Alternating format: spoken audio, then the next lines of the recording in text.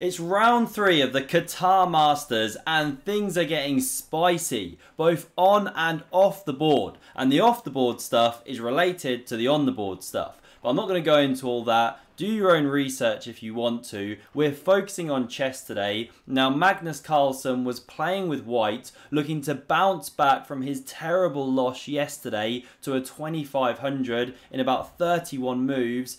Here he was going for an international master who had the name of, or has the name of, sorry, AL Muthaiah. Another player from India, where else, right? This tournament is full of strong Indian players, powerhouse of chess right now. So Magnus kicks off with e4. No messing about with weird openings today. We get e5, knight f3, and knight f6. His opponent looking to suck the life out of the game with the Petrov, or Russian defense. Reputation for being rock solid. Now after takes, the main move for white is d4. But Magnus goes for this quirky sideline, drives the knight back, and then goes d4. He's very familiar with these positions because he had to try and break this opening down against Fabiano Caruana 2018 World Chess Championship match and he wasn't successful. Now here black has a choice. You can go d5 and then put the bishop here or you can do this, which is a bit, which is a bit more interesting. And by the way, why did uh, white spend two tempos? Well, you drove the knight back, so you did gain something through that. So now bishop d3, we get bishop g7, both players castle, and after pawn h3, this bishop here is struggling for good squares along this diagonal. You know, if you put it on e6, you're running into maybe this, you're going to block the rook. So we see pawn b6, natural move. Now c4 from Magnus. You know, he has a small edge. He has the space. Also the extra move, of course, with white. He goes bishop b7, knight c3, rook e8 played. And now you can go rook e1. Very boring, very dry. Start swapping pieces. But Magnus wants to keep tension. So he plays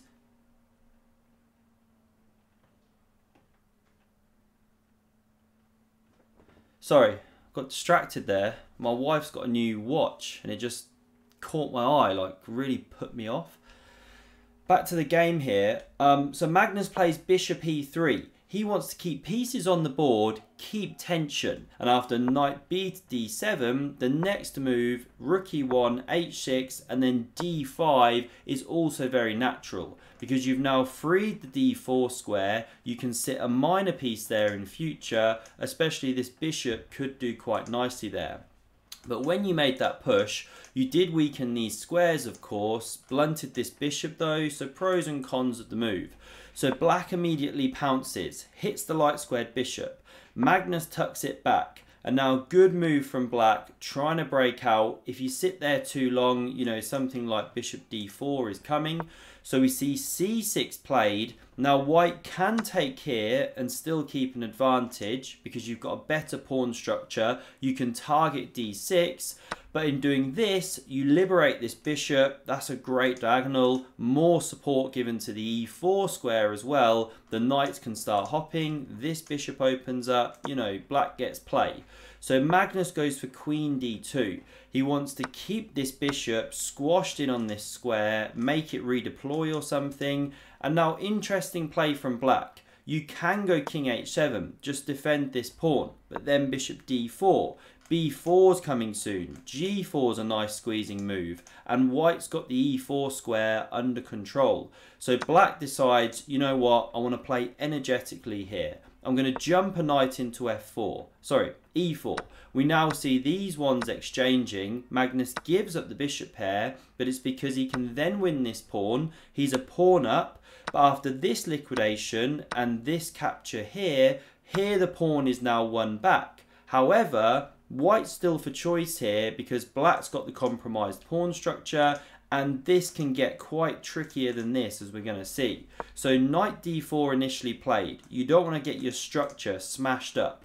Now queen f6 hits that knight. We see queen d2 defending, and now a great move by black, activating all the pieces. You don't want to take this pawn, or b3, and the bishop's actually trapped. First you'd go rook d1 to defend this knight, then you'd win it, and actually white has the time to do that. So the pawn not touched, rook c8 played, and it's a great move because if white goes for knight b5, natural looking idea to hit this bishop, target this pawn, target this pawn, well then after rook c5, knight takes, sorry, knight c3 is best. If knight takes, well actually this knight's getting a bit trapped. Bishop b7, the knight's got no retreat squares. Yes, you can go a4, but then the rook swings. f3, the bishop crashes through. You know, this is technically a drawn position apparently because you can create this pin. But black getting huge counterplay. So Magnus, no knight b5, he goes a3, now we see a6, taking away the square, and this is really nice chess. Magnus wants to remaneuver this knight, but he starts with rook e3, activates that piece, so that after king g7, now knight e2, you know, the rook's not here, there's no, say, rook e1, uh, e8 coming to create pins or whatever. Really nice harmony. So bishop c4 played, hits that knight. Knight g3, you want to preserve it. Knight e4 threatened. And it's interesting, when you run it with the engine, they want to go bishop e6, essentially just ditch this pawn and play for piece activity. But black goes d5, natural idea to take away this square. But now b3 kicks the bishop, a4, it drops back and knight e2. And you've got this classic situation of good knight against bad bishop. Because this one now is forever going to have its scope hampered by this pawn. White's about to blockade and the pawn could later be weak and dropping off the board. So we see bishop e6, knight d4, a5 played. Look at the clock situation as well. Magnus putting the heat on. King h2, check, g3, uh, queen back, king g2, the bishop drops to d7, preparing to exchange rooks, and now Magnus could be a bit shuffly here, you know, rook f3 is one move, or rook e1 the computer says, but he goes g4, third top move, nice idea to create more of a squeeze. We see the rooks come off the board, but still some of the problems persist with this good knight, isolated pawn. Queen e3 now played, hits the bishop, probes the b6 pawn, bishop d7, knight f3 from Magnus, and now here the position is roughly level. Even though black's got the weakness, white's got all the long-term pressure and can keep probing up on the clock. It's still technically within the drawing territory. You know, you usually need two weaknesses, not just one, to kind of create a winning advantage. But this next move is a mistake. Bishop c6 played looks so natural because you threaten d4, hitting the queen, unleashing the bishop on this, really, really bad. You know, that's why you can't take. Now you're literally losing. But the problem with this move is you can play g5, kick the queen, and then take the pawn. And this time the tactics aren't working. And going back to where black made the blunder, that's why the bishop shouldn't have gone to c6. The queen should have come to d6 straight away, cover this pawn, stay covering this pawn, roughly level. The problem now with d4, which does come on the board, is that the queen isn't on f6, immediately attacking the knight, and so Magnus, he gains a move here. Also, this queen is undefended. This is the trick. So now Magnus finds the only move to keep a winning advantage. Can you find what it is here? so the move that Magnus plays is king to f1.